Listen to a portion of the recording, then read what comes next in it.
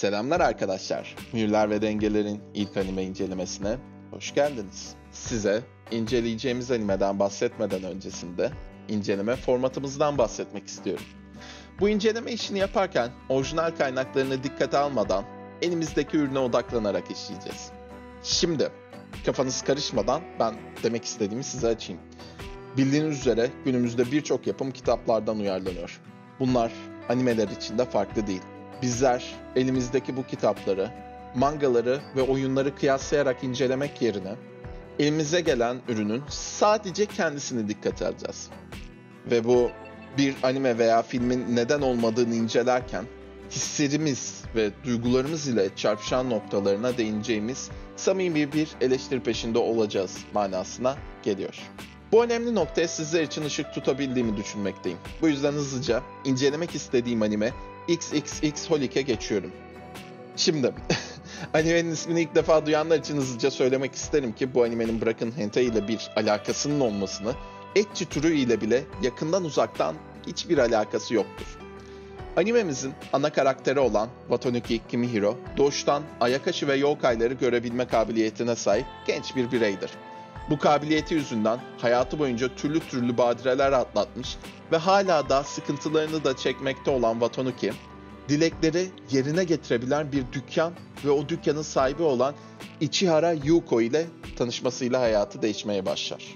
Gerginlik dolu anları ve bol bol gizemi ile mitolojik ve kültürel bir takım mitleri konu alan bu anime benim için şu ana kadar izlediğim animeler arasında bu türün en hakkını vererek işleyen serilerdendir kendisi.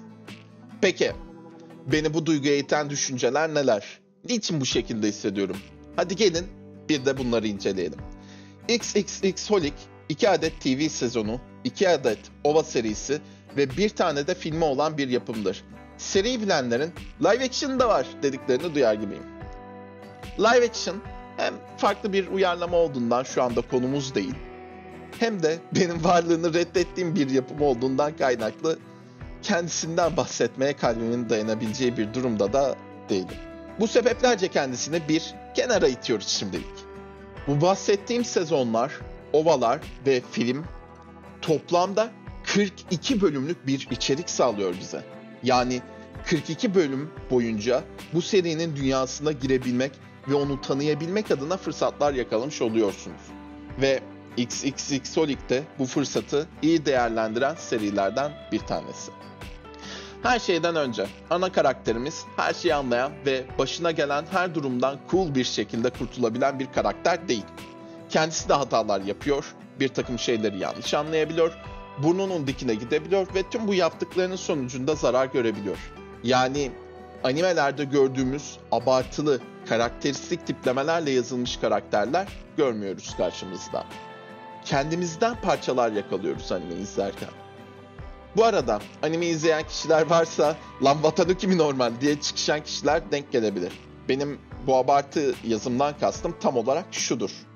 Başına gelen hiçbir olaydan ders almazmışçasına hala bildiğini okuyan ve tiplemenin dışına çıkamayan karakterler. Watanuki bu tip karakterlerden biri değil ve karşılaştığı olaylar sonucu sorunlar da ve sıkıntılar da çekse üstesinden gelebilen birisi. Animenin genel akışından bahsetmem oldukça önemli. Çünkü siz aksiyon ve sonu yokmuşçasına sürekli gelişen bir shonen karakteri arıyorsanız karşınızda çok yanlış bir anime var demektir. Bu seri hem seinen hem de ilerleyişi yavaştan yavaştan yapmayı seven bir kafa biçimine sahip. Olaylar ve durumlar bir anda gelişmiyor. Seri bize dükkana gelen müşterilerin dileklerini gerçekleştirirken bir yandan da kendi ana karakterini acele etmeden ve sabır içerisinde bizlere tanıtıyor. Ancak bu dediklerim sizi yanıltmasın. Bu serinin hızlı ilerlememesi bölümlerin ve içeriğin de çok ağır olduğu manasına gelmiyor. Seri tam aksine oldukça kararlı ve gitmesi gerektiği bir hız ile gelişiyor. Siz animeyi izlerken herhangi bir şekilde sıkılmıyorsunuz. Çünkü bu anime çoktan sizi içine almış ve içeriğiyle de sizleri bir yandan sürükleyen bir yapıma dönüşmüş oluyor.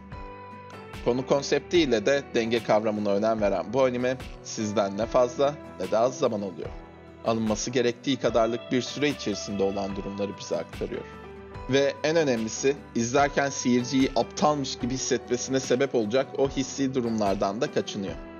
Peki yok mu bu Holik'in kötü yanları? Bu seri hikayeyi harika işliyor.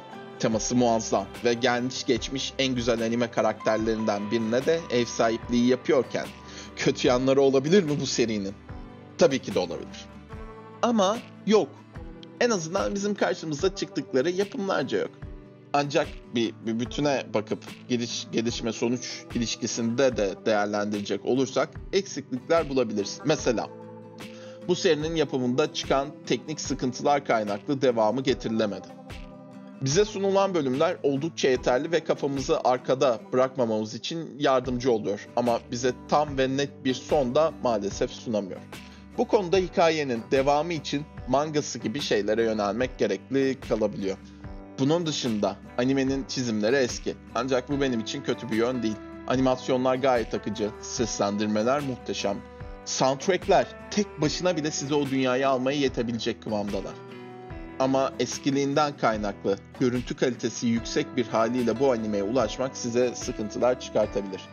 Türkçe bir kaynağa bakmıyorsanız daha iyi kaynaklar bulmanız tabii ki de mümkün olacaktır. Çizim tarzı ise hikayenin tuhaflığını iyi verebilecek şekilde dizayn edilmiş. İlk baktığımızda belki üzerinde hoş bir izlenim bırakmayabilir ancak izledikçe o izlenimin silineceği konusunda bana güvenebilirsiniz. 2006 yılı animesi olan bu anime Anime liste eskiden 8'lerdeyken şimdi ise 7.99'da. Benim listemde ise 10 puan almış bir yapımdır.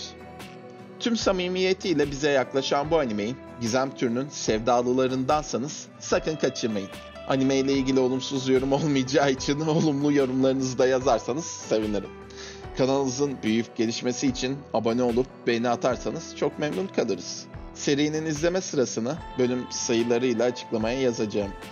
Bu anlatım üzerine animeyi merak edenler oradan nasıl izleyeceklerine bakabilirler. Kendinize iyi bakın, hoşçakalın.